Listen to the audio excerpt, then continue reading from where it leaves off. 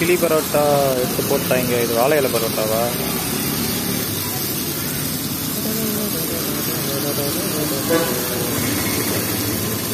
பொரிச்ச பரோட்டா கிளி பரோட்டா.